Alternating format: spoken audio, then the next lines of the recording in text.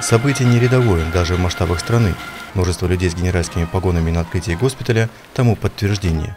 Крота строительства заместитель министра обороны России прибыл лично. Заместитель министра обороны Российской Федерации. Военный госпиталь город Анапа к открытию готов. Начальник госпиталя майор Фойер. Здравия желаю.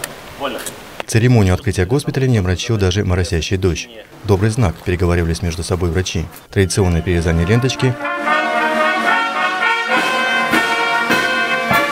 Затем главное – осмотр помещений. Тимур Иванов не скрывает. Увиденное ему по душе. Госпиталь строили почти 7 лет, своя газовая котельная и кислородная станция, солнечные батареи на крыше. Здесь уникально все, начиная от проекта здания, заканчивая медицинским оснащением полностью оснащен высокотехнологичным оборудованием, более 250 уникальных образцов медицинского оборудования, на 120 коек наш госпиталь, который позволяет ежегодно принимать до 3000 посетителей. Тимур Иванов, по сути, был идейным вдохновителем тех масштабных проектов, которые сегодня реализуются на территории Анапы.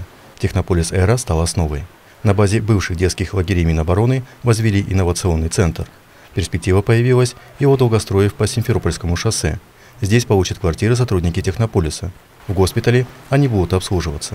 Но не только военные и их семьи смогут получать здесь медицинскую помощь. Мы планируем войти в систему обязательного медицинского страхования, и тогда любой житель города-курорта Анапы будет иметь право получать медицинскую помощь в нашем чудесном госпитале. В принципе, все виды медицинской помощи здесь мы сможем оказать. Кроме того, мы укомплектованы современным и высокотехнологичным медицинским оборудованием. У нас есть компьютерный томограф, у нас есть магнитно-резонансный томограф, у нас есть современнейшие рентгеновские установки. Помимо этого, для напчан это новые рабочие места. В штате более 200 сотрудников.